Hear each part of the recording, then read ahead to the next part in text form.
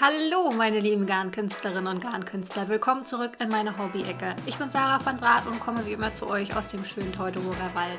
Wenn ihr wissen möchtet, was ich in den letzten Wochen so gestrickt habe, bleibt ganz einfach dran. Gleich geht's los.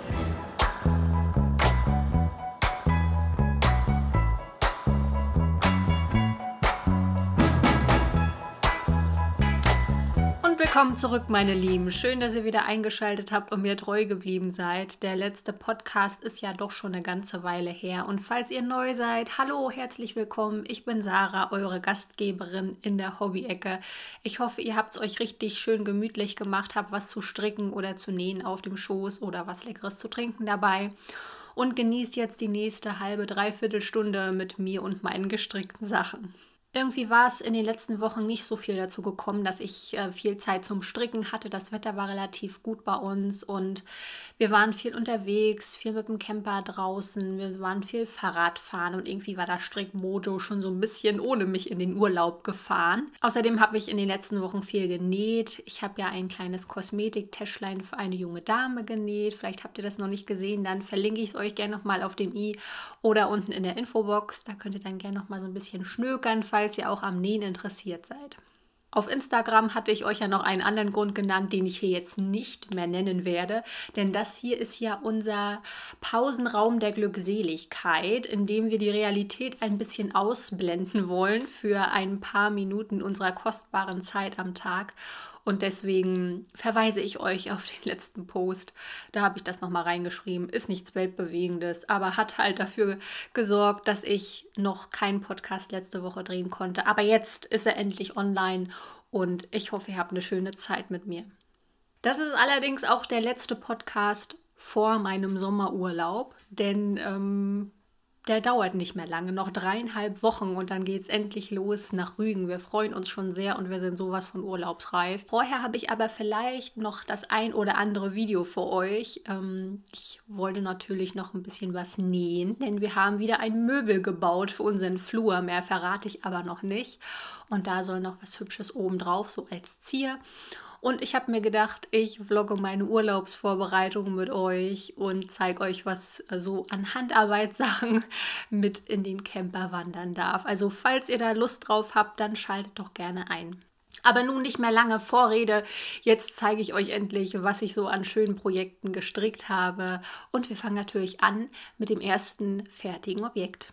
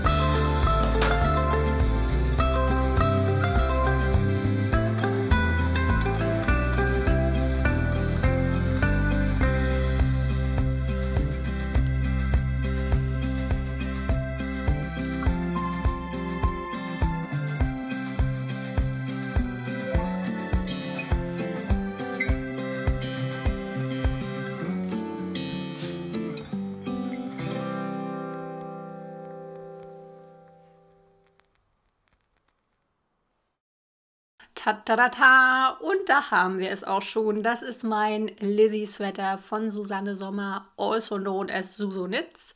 Ja, das ist ein ganz hübsches, tolles Prachtteil geworden, wie ihr vielleicht gerade schon in der B-Rolle sehen konntet.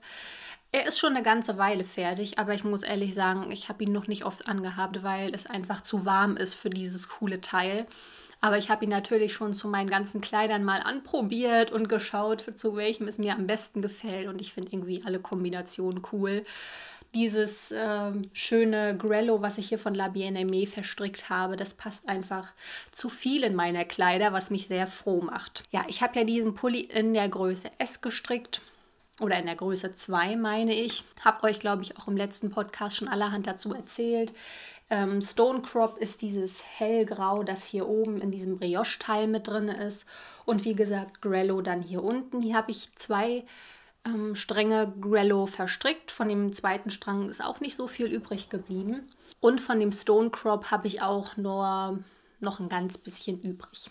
Ich wurde von euch gefragt, wie ich denn mit diesen ganzen Löchern umgehe, die da in diesem Brioche-Teil entstehen. Und ich hab, musste erstmal genau gucken, welche Löcher sind jetzt gemeint. Und gemeint waren die Löcher, die entstehen bei den Zunahmen, wenn man nachher dieses Dreieck Brioche stricken soll. Und ich muss sagen, bei mir sind die Löcher ja relativ klein, kann man sagen. Also sie sind auf der Rückseite etwas prominenter als auf der Vorderseite. Aber ich habe die gar nicht so als, sage ich mal, lästig wahrgenommen. Ich dachte, das ist eher so ein Design-Feature und von daher habe ich da gar nicht so besonders drauf geachtet, wie ich die gestrickt hatte. Wenn einen das stört, dann muss man natürlich ein bisschen auf die Fahnenspannung achten, würde ich mal sagen. Aber ansonsten fand ich, war das ein sehr schönes Designelement, das hier so ein bisschen Lochstruktur ringsherum um den Brioche-Teil entsteht. Von daher dachte ich von Anfang an, dass das so soll. Und ich glaube auch auf den Bildern von Susanne in der Anleitung sind auch die Löcher zu sehen. Von daher glaube ich einfach mal und bin guter Hoffnung, ähm, dass diese Löcher tatsächlich gewollt sind. Und es liegt sicherlich auch in der Natur der Sache, denn an diesen einzelnen Maschen hängt ja doch relativ viel Gewicht mit diesen mehreren Umschlägen, die man da machen soll. Und von daher, ja, tut die Schwerkraft dann ihr Übriges und zieht die Maschen extra lang. Ich denke, deswegen sind die so zu sehen. Ja, ich habe jetzt hier mit gespeckeltem Garn gearbeitet hauptsächlich und da fällt das gar nicht mal so auf.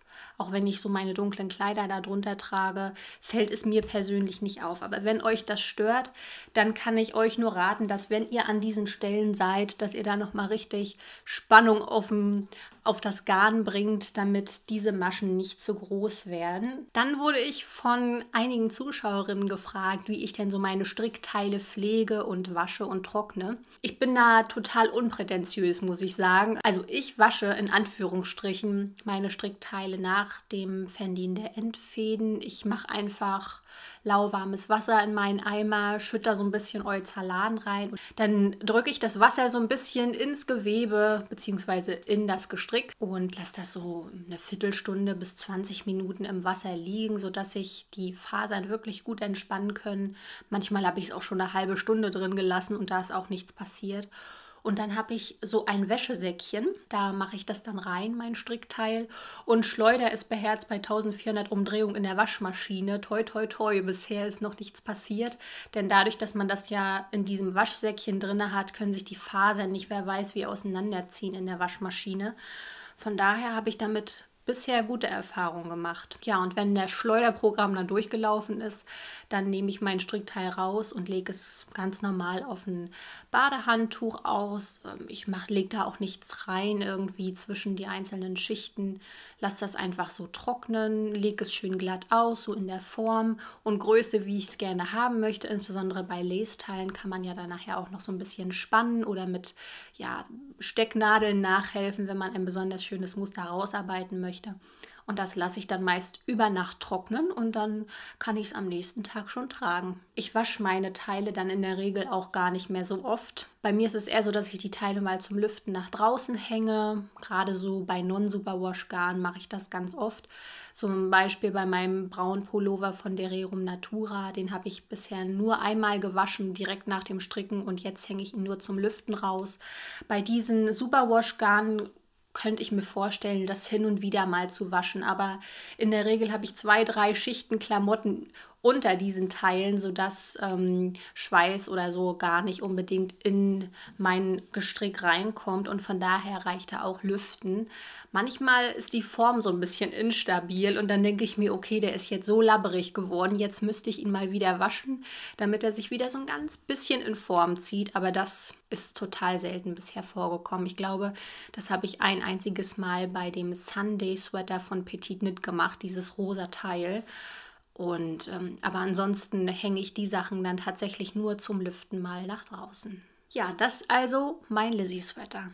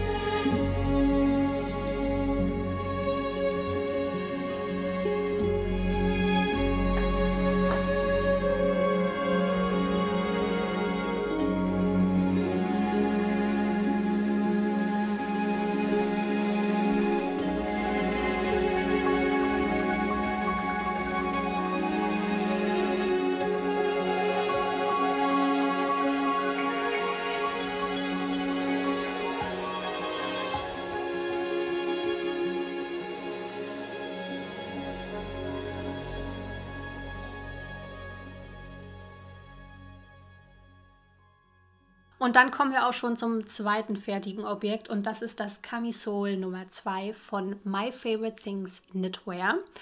Ja, das Teil, das ist mir irgendwie auch von den Nadeln geflogen. Im letzten Podcast hatte ich euch, glaube ich, nur die ersten zwei, drei Reihen gezeigt und danach war das Teil wirklich super schnell fertig.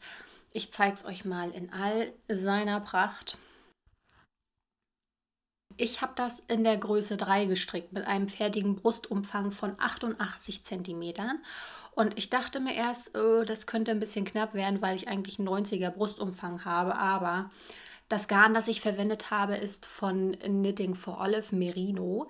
Da sind auf 50 Gramm 250 Meter und das ist ein ganz, ganz wunderbares Garn. Also ich kann es wirklich nur empfehlen. Ich habe auch noch ein zweites Projekt heute für euch, in dem ich dieses Merino-Garn verarbeite. Ihr wisst ja auch, dass ich nicht so ein Riesenfan von Leinen- oder Baumwollmischungen im Garn bin. Ich komme da nicht so richtig ran, muss ich sagen, und stricke am liebsten mit Wolle. Diese Wolle hier, die ist so fluffig und auch nach dem Waschen und Blocken hat man dann erst richtig gesehen, wie schön dieses Teil nachher tatsächlich geworden ist. Es hat so einen richtig schönen Glanz. Ja, das Strickteil, das ist relativ formstabil. Ich finde es einfach total schickimicki, muss ich sagen. Ich habe die Farbe Robin gewählt und laut Anleitung braucht man eigentlich 150 Gramm für die Größe, die ich gewählt habe. Ich habe aber tatsächlich nur 100 Gramm verarbeitet, habe also noch ein Knäuel übrig ähm, muss aber auch sagen, dass ich nur eine Körperlänge von 51 cm habe und die richtige Größe wäre eigentlich 58 cm. Ich habe mir hier unten also, ja, oder besser gesagt hier oben 7 cm gespart, denn das Ganze wird von unten nach oben hochgestrickt. Ich wollte es gerne ein bisschen cropped haben und eigentlich trifft es mich genau auf der Hüfte, eigentlich genau die perfekte Länge. Von daher bin ich um die sieben fehlenden Zentimeter überhaupt nicht traurig und freue mich sehr, dass das so ein bisschen in die cropped Richtung gegangen ist. Es ist ein sehr schönes Design, gerade jetzt passend für den Sommer. Und ich hoffe sehr, dass ich das dann auch in meinem Sommerurlaub tragen kann, dass wir schönes Wetter haben. Genau, ich werde das auf jeden Fall mit meinen High-Waisted Shorts tragen. Ich habe da so ein paar, die gehen mir bis zum Bauchnabel und ich glaube, da wird dieses Teil richtig schick und fetzig so aussehen. Das war wirklich super schnell fertig gestrickt. Und wenn das fertig ist, dann zieht es sich natürlich erstmal zusammen, wenn die Fasern sich noch nicht entspannt haben. Und dann sieht das total schmal aus und man fragt sich, passe ich da am Ende wirklich rein oder doch nicht? Oder sehe ich doch aus wie Wurstpelle? Aber auch hier nach dem Blocken passiert die Magie. Ich habe das Teil auch wieder eine Viertelstunde, eine halbe Stunde in lauwarmem Wasser mit so ein bisschen Euzalan drin gehabt habe das Ganze wieder geschleudert und dann auch so ein bisschen in Form gezogen, trocknen lassen und dann ist das Teil so geblieben und seitdem bin ich sehr, sehr begeistert von dem Garn, aber auch von der Strickanleitung, die war wirklich super, super einfach. Das ist ja im Prinzip nur ein Rippenmuster. Hier oben wird dann so ein bisschen ein Dreieck rausgearbeitet mit Abnahmen und ähm, ich kann es echt nur empfehlen, falls ihr jetzt noch auf die schnellen Sommertop braucht. Das könnte was für euch sein. Das also mein Camisol Nummer 2.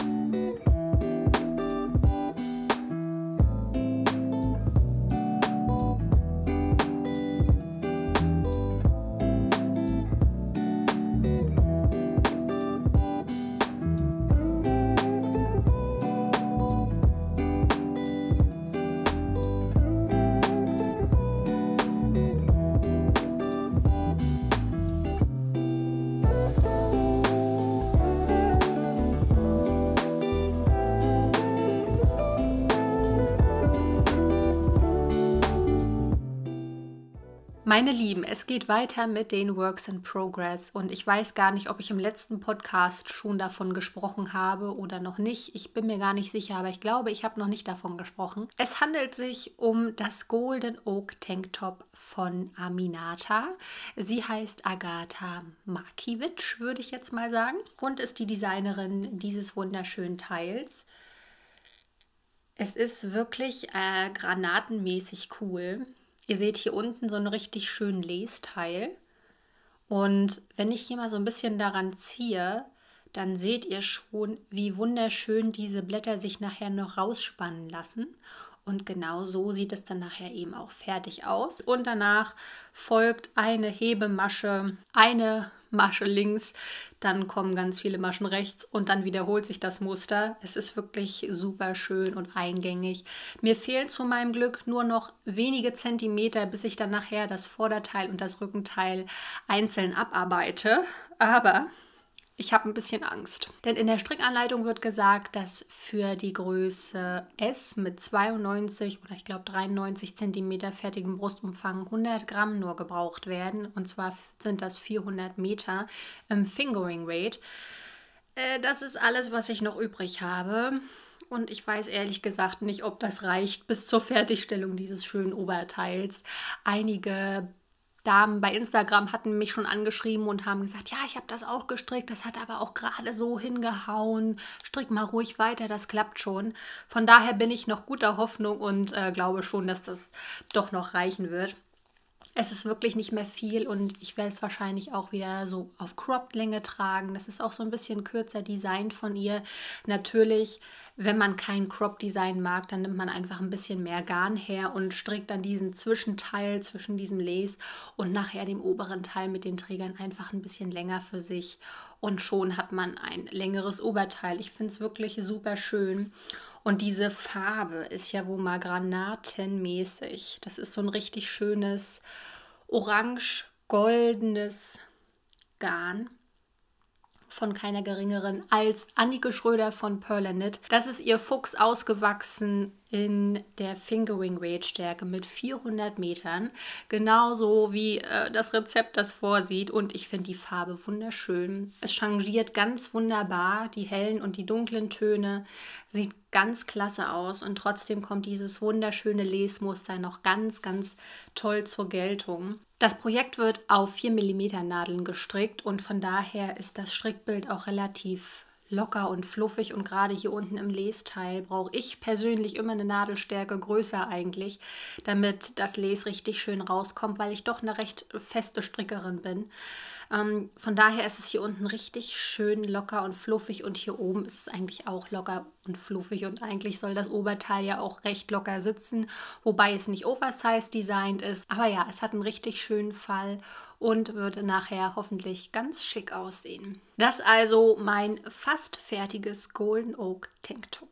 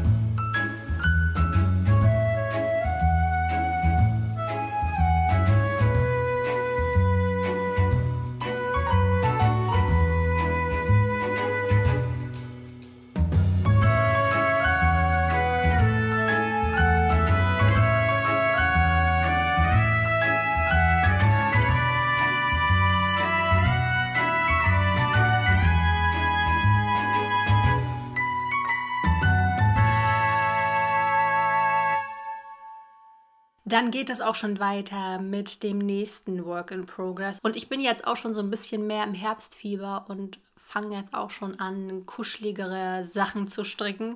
Ich habe mich für eine Anleitung von Espas Tricot entschieden. Die Anleitungen von den beiden Damen, von Lisa und Melissa, sind eigentlich fast immer oder ausschließlich kostenlos. Findet ihr alle bei Ravelry und die haben wirklich super einfache, aber sehr, sehr schicke und geschmackvolle Strickanleitungen. Und ich habe mich für den In Good Company Wrap entschieden. Und zwar bin ich da auch schon ziemlich weit gekommen, wie ihr sehen könnt. Ich habe jetzt schon den Musterteil fast fertig.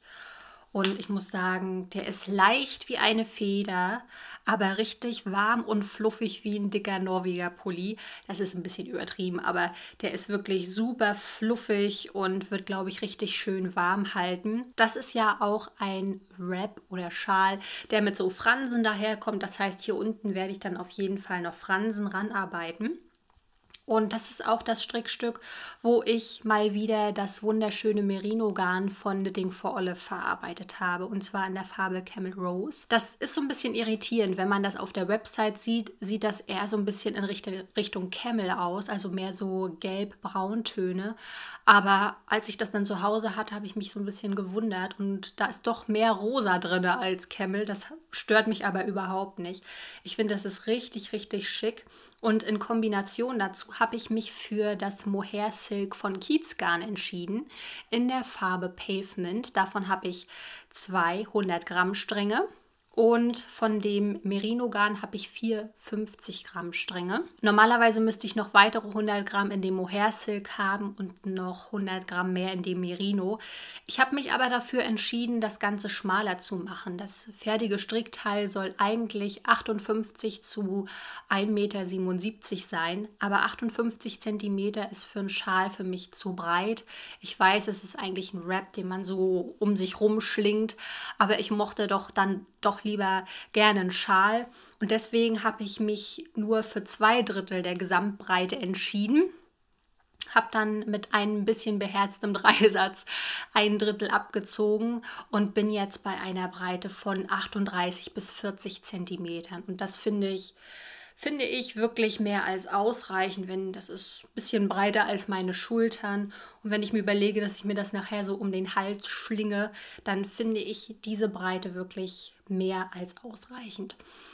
Der Effekt, der im Zusammenspiel der beiden Garne entstanden ist, den finde ich phänomenal. Und zwar ist es ja eigentlich ein Rosaton verbunden mit einem Grauton, wo so ein paar braunrostige Speckles drauf sind. Aber ich finde, in Kombination sieht das so schön aus, wie so vertrocknete, rosafarbene, ja, Rosenknospen, die an den oberen Seiten schon so ein bisschen braun werden, aber trotzdem noch so ein bisschen rosa durchschimmern haben. Und das finde ich grandios. Und ich bin wirklich sehr gespannt, wie das Teil aussieht, wenn es fertig ist. Die Farben, die spielen so wunderbar ineinander, dass ich wirklich begeistert bin. Ich war vorher nicht ganz so sicher, okay, grau und rosa zusammen, ah, das kann gut aussehen, muss aber nicht. Probier es einfach aus. Und letztendlich ist es doch wirklich so, so schön geworden. Und ich bin gespannt, wie es weitergeht. Jetzt kommt noch ein bisschen von diesem ähm, Muster hier unten und dann wird nur noch glatt rechts gestrickt. Auf der anderen Seite wiederholt sich dann dieses Muster wieder. Dann kommen noch die Fransen ran und fertig ist die Laube. Und da freue ich mich sehr drauf und werde euch auf jeden Fall im nächsten Podcast dann sicherlich schon den fertigen in Good Company Wrap von Espas Trikot zeigen.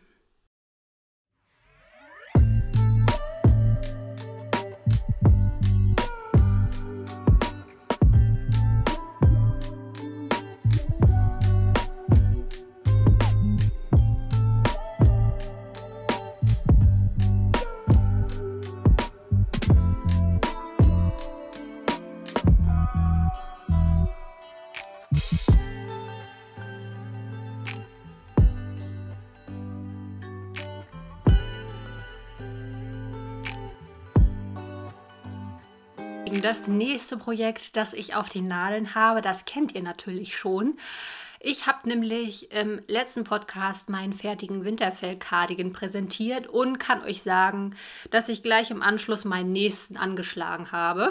Diesmal habe ich mich aber für eine dunkle Variante entschieden, denn ich liebe den Winterfell-Cardigan. Der sitzt wie eine Eins. Und ich dachte mir, ich habe den hellen jetzt so oft angehabt, seitdem der fertig ist. Ich brauche den unbedingt noch in der dunklen Variante für den Herbst-Winter, wenn ich dann meine ganzen dunklen Kleider wieder tragen werde.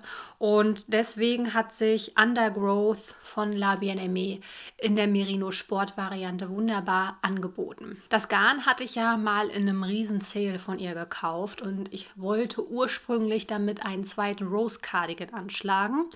Dazu ist es nie gekommen, denn ich habe für mich festgestellt, dass der Rose Cardigan zwar super schick ist, aber ich finde diesen Tragekomfort nicht gut. Also ich weiß nicht, ob es nur an meiner gestrickten Variante liegt, aber der sitzt bei mir auf den Schultern einfach nicht gut. Er rutscht immer runter, dann sitzt er irgendwie so komisch boxig, dass dann hinten so ein bisschen der Stoff absteht und ich bin nie so richtig mit dieser Konstruktion warm geworden und habe ihn deswegen leider auch nie so oft getragen, wie ich es hätte tun sollen.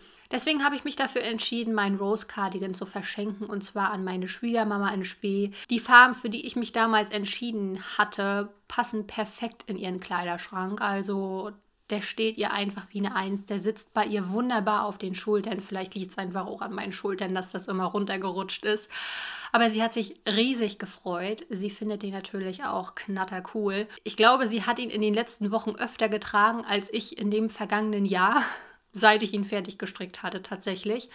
Der hat wirklich ein trauriges Dasein bei mir gefristet, aber das ist nun zu Ende und er darf jetzt an die frische Luft und in aller Schönheit bestaunt und bewundert werden. Ich bin dafür aber jetzt ein Winterfellmädchen und habe mich für die zweite Variante des Winterfell-Cardigans entschieden. Die erste Variante habe ich in Größe M1 gestrickt, glaube ich, in S oder M1. Ich glaube, es war M, habe aber, glaube ich, immer S gesagt. Ups, also M1 war, glaube ich, die erste Variante mit 91 cm fertigem Brustumfang und die M2-Variante ist jetzt mit 98 cm Brustumfang beim fertigen Strickstück. Und ich hatte ja auch im letzten Podcast schon gesagt, dass das gerade so passt, aber dass es doch so ein bisschen aufspannt. Man könnte dem wahrscheinlich abhelfen, indem man einfach noch ein paar mehr Knöpfe dran macht und versucht aus den locker gestrickten Maschen, die bei mir nicht vorhanden sind, noch ein Knopfloch auszuarbeiten. So à la Petit Knit, wo man dann zwischen den Maschen einfach so ein bisschen mit Faden ein Loch herausarbeitet. Das wäre eine Möglichkeit. Habe ich bisher noch nicht in Erwägung gezogen, weil ich meine Sommervariante sowieso nicht zumache. Das ist wirklich nur für die Schultern und für die Arme so ein bisschen Windschutz. Aber diese Variante möchte ich natürlich nachher auch zumachen können. Die soll ja auch in gewisser Weise schön warm halten. Deshalb wird Winterfell Cardigan 2.0 in Größe M2 gestrickt. Ich habe bisher noch keine Knöpfe. Ich muss mal schauen, ob ich eher nach grauen oder nach braunen Knöpfen Ausschau halte, denn beides ist ja in diesem wunderschönen Undergrowth mit drin ja, wie gesagt, die Farben finde ich wirklich super schön. Ich habe meine vier Knäuel schon aufgewickelt, dass ich direkt durchstricken kann. Und dann zeige ich euch im nächsten Podcast natürlich auch dazu wieder den Fortschritt.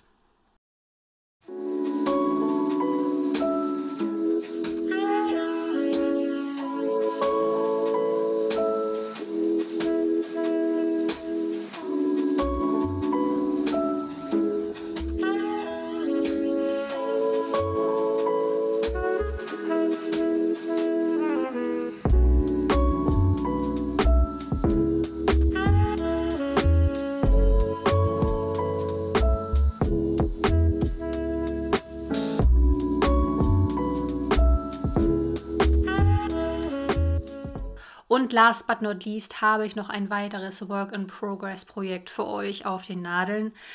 Und da bin ich auch schon wieder in meinen Herbstüberlegungen und habe endlich mal das Garn herausgenommen, das ich schon bestimmt seit ein oder zwei Jahren in meinem Schrank liegen habe.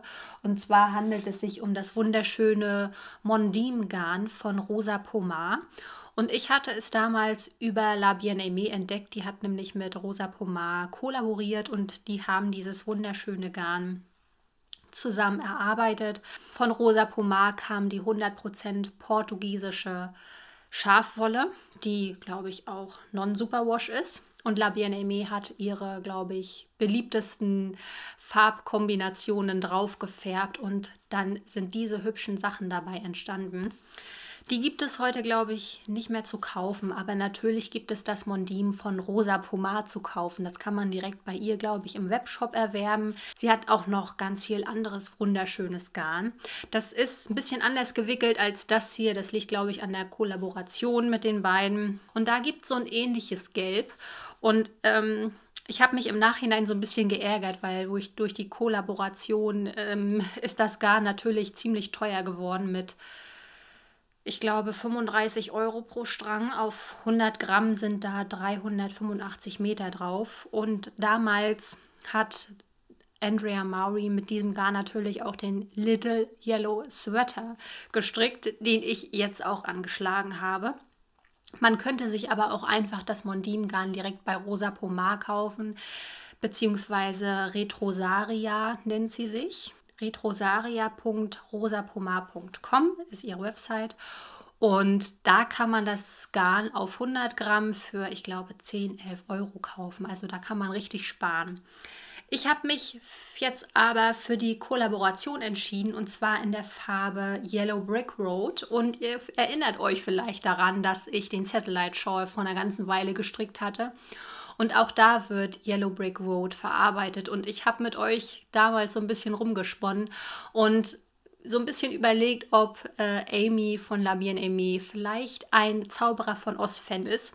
Und genauso war es auch. Folge der gelben Backsteinstraße ist ja ein Lied, das in dem Klassiker äh, Der Zauberer von Oz vorkommt. Und genau nach dieser Yellow Brick Road ist eben diese Farbkombination von ihr ja benannt worden. Also da hat sich für mich so ein bisschen ein Kreis geschlossen. Sie hat das, glaube ich, mal bei Christy Glasnitz in einem Interview erzählt, wie sie auf den Namen kam. Und da dachte ich, ja, sie ist auch Zauberer von Oz-Fan, genauso wie ich.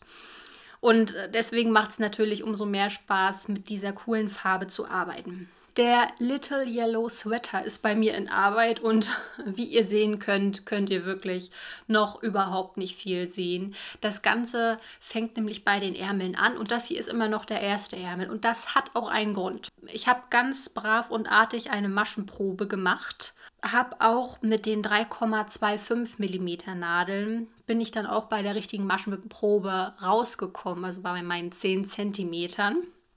Ich habe hier wieder die Haya Haya Sharps. Das sind meine absoluten Lieblingsstricknadeln. Damit decke ich mich jetzt mehr und mehr ein. Und habe aber erst die Größe 3 gestrickt. Ähm, ich bin da auch so ein bisschen äh, irritiert, denn die Größe 3 war riesengroß, als ich den Ärmel gestrickt habe. Und ich habe gedacht, das kann nicht sein, das ist viel zu weit, viel zu groß. Habe also nochmal alles aufgeribbelt. Ich war schon mal so weit, allerdings in Größe 3. Und habe dann aber doch nochmal alles wieder aufgeribbelt, weil ich mir einfach nicht sicher war, ob das die richtige Größe ist. Und habe jetzt also in Größe 2 angeschlagen. Größe 2 hat einen fertigen Brustumfang von 86 cm oder 86,5 cm. Das sind 3,5 cm weniger, als ich bräuchte. Aber der Ärmel, der sieht jetzt irgendwie von der Größe her passender aus für mich als in der Größe 3.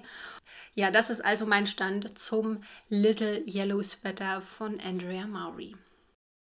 Ja, falls ihr meine letzten beiden Videos gesehen habt, das eine war ja ein Vlog und das andere ein Making-of, dann wisst ihr schon, was ich euch jetzt noch mal ganz kurz zeigen möchte. Und zwar ist das die Kosmetiktasche, die ich für die junge Dame gemacht habe, die mich zur Jugendweihe eingeladen hat, beziehungsweise mich und Henrik natürlich. Die heißt Lea und ich dachte mir, ich mache ihr mal so ein richtig süßes, hübsches Kosmetiktäschlein. Und ich habe mich so ein bisschen an die Anleitung von Minky Kim gehalten. Ich verlinke euch auf jeden Fall gerne nochmal die Videos in der Infobox und auf dem i. Ich habe hier innen drinnen nochmal wieder so ein bisschen schick abgesteppt und die offene Nähte hübsch versäubert mit diesem gepunkteten Stoff. Und hier oben habe ich dann zwei Reißverschlüsse zusammengefügt, weil ich keinen passenden hatte, der lang genug war. Das English Paper Piecing hatte ich euch ja in dem Vlog so ein bisschen gezeigt. Das hat wirklich super Spaß gemacht und ist ein neues Steckenpferd von mir. Das macht wirklich super viel Spaß. Das English Paper Piecing habe ich aus einer Riley Blake Stoffsammlung gemacht. Mod Meo heißt es, glaube ich. Aber die Information dazu findet ihr auf jeden Fall nochmal in dem Making-of zu dieser Tasche. Und das English Paper Piecing, das lässt mich einfach nicht mehr los. Und ich habe auch schon ein weiteres Projekt in Planung. Und zwar habe ich hier noch ein schönes Kuschelkissen. Ich hatte ja kurz vorhin schon erwähnt, dass wir ein neues Möbel für den Flur gebaut hatten. Und da fehlt natürlich auch noch ein hübsches Zierkissen drauf. Und das habe ich hier schon mal. Ich habe natürlich auch ein bisschen was Interessantes damit vor. Und zwar möchte ich wieder ein bisschen quilten und mit English Paper Piecing arbeiten. Und dafür habe ich mir diese grandiose Stoffkollektion ähm, gekauft. Das ist Liberty Fabrics für Riley Blake Designs. The Emporium Collection Nummer 3 und die heißt Discovery. Und ihr seht schon, dass hier verschiedene Blau, Creme und Gelbtöne drin verarbeitet sind. Und das erinnert mich total an Delft, an das Delfter Blau, an Amsterdam und die goldenen Zeiten von den Niederlanden, wie sie dann nachher auch nach Fernost gereist sind, um dort allerlei Handel zu treiben. Und ich liebe es einfach. Passt auch wunderbar zu unserer neuen Fließtapete, die wir da auch bei uns im Flur angebracht hatten. Da möchte ich so ein bisschen quilten und auch English Paper Piecing machen. Und wie genau das Kissen dann entsteht, das zeige ich euch dann nochmal in einem Making-of. Und äh, wie gesagt, falls Nähen nicht so was für euch ist, dann sehen wir uns hoffentlich im nächsten Wollligen-Video wieder.